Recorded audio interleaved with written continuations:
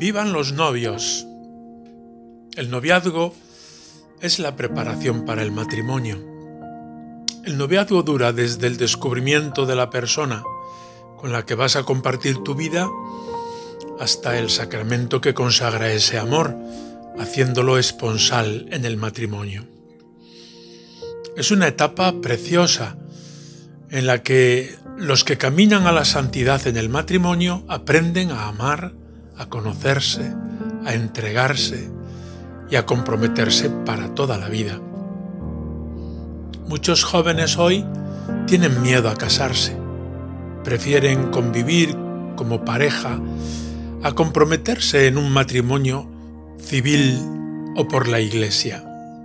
En el fondo, es miedo al compromiso, es miedo al fracaso, al ver tantos matrimonios rotos por el divorcio.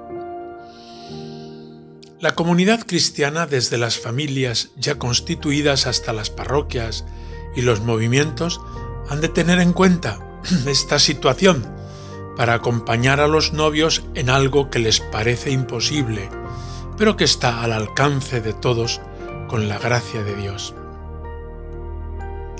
La fiesta de San Valentín, el 14 de febrero, en este año Familia Amoris Leticia, es una ocasión para profundizar en estas dificultades y sobre todo abrirse al horizonte de Dios en este tema, del que Jesucristo ha tratado elevando la alianza de amor de los esposos a la categoría de sacramento.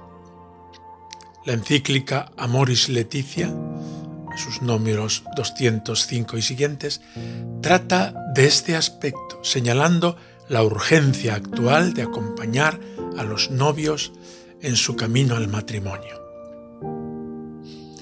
Aprender a amar no se hace en cuatro días, es tarea de toda la vida, porque en el fondo se trata de crecer en la vivencia cristiana que nos va sacando de nuestros egoísmos para hacer de nuestra vida una donación. La relación de amor no puede instalarse en la posesión sino que ha de crecer en la donación al otro. Y esa es tarea de la gracia, que mueve a colaborar con un corazón generoso. Es preciso recordar la importancia de las virtudes. Entre estas, la castidad resulta condición preciosa para el crecimiento genuino del amor interpersonal recuerda a Moris Leticia en el número 206. Si los novios se preparan para el don pleno de sí mismo al otro, incluso para la donación corporal y sexual, esto solo es posible cuando se recibe al otro como un don de Dios y cuando uno se entrega al otro en el Señor. Aquí reside el secreto del matrimonio, del sacramento del matrimonio. Hay quienes dicen que añade el sacramento del matrimonio.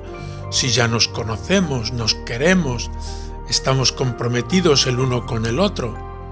¿Qué más da que la entrega sea antes o después de la boda, cuando ya hay un compromiso firme por parte de ambos, o cuando no puede celebrarse la boda por el motivo que sea? La Iglesia, apoyada en la enseñanza de Jesucristo, te dice, no es lo mismo. Y ahí está el secreto, para mirarlo con ojos de fe. El sacramento del matrimonio consagra el amor de los novios y consagra a cada uno convirtiéndole en esposo, esposa del otro. No le es lícito al hombre o a la mujer tomar al otro sin que Dios te lo dé. Y Dios te lo da cuando lo consagra en el sacramento del matrimonio y en la bendición por parte de Dios de ese amor que los convierte en esposos. Evidentemente, para el que no tiene fe, eso le suena a música celestial.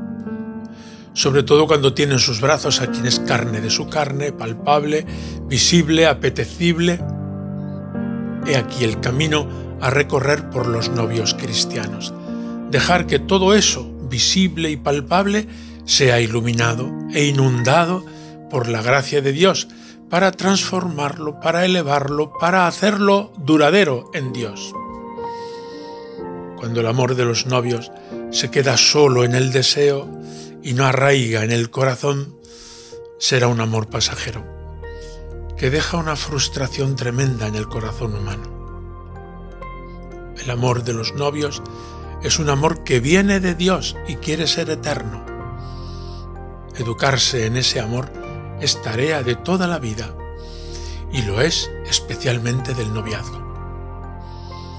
Por eso en la fiesta de San Valentín, vivan los novios, viva el amor humano transfigurado, elevado, purificado por la gracia de Dios. Ese será un amor duradero que satisfará para siempre el corazón humano de quienes son llamados al matrimonio.